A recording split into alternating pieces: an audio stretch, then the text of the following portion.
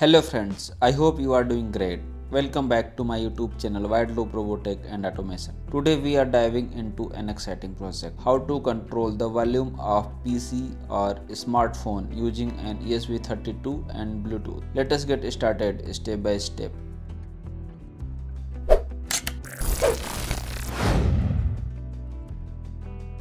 Here is what we will need an ESP32 development board, two tactile push button. Now let us make the connections. Connect the first switch to GPIO D5. This will control the volume down. And connect the second switch to GPIO D4. This will control the volume up. The other pin of both switches connected to ground. That completes our simple circuit diagram with the hardware ready. Let us move ahead to the Arduino programming part.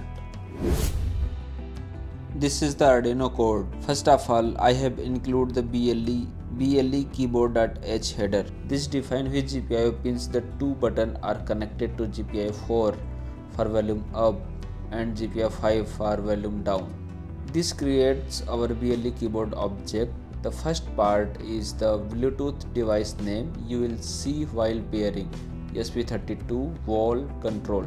The second is the manufacturer string the last number is the battery level percentage on the device reports on the host. Set to 100. OK. In void setup function, start serial at 115200 baud rate and both pins are configured as input. So our button is active low. OK. And it is for just a startup log so you know what is happening.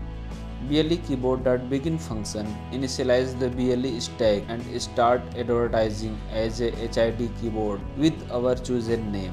OK. In while loop waits until the PC or phone pairs and connect. Once pairing is done then it will log phone connected. In while loop we read the current logic level of each button pins.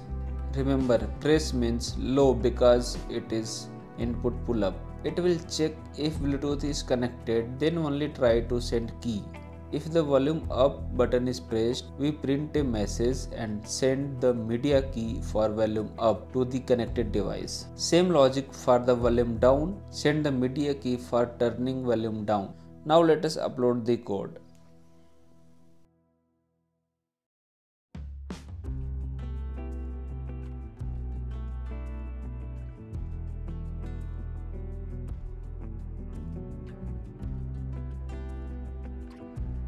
Okay, code has been uploaded. Now let us see the demo. In my phone, turn on the Bluetooth. You will see the Bluetooth device ESP32 wall control. Touch to pair. Okay, now ESP32 is paired with my phone. Now let me press the button. Wow, it is working well. You can see volume is getting down. Wow, great. When I am pressing the another switch, then volume is increasing. That's it friends. I hope you enjoyed this demo and able to understand how can we control the media with ESP32. If you found this video is helpful, please do like, subscribe and share. Thanks for watching and I will see you in next one.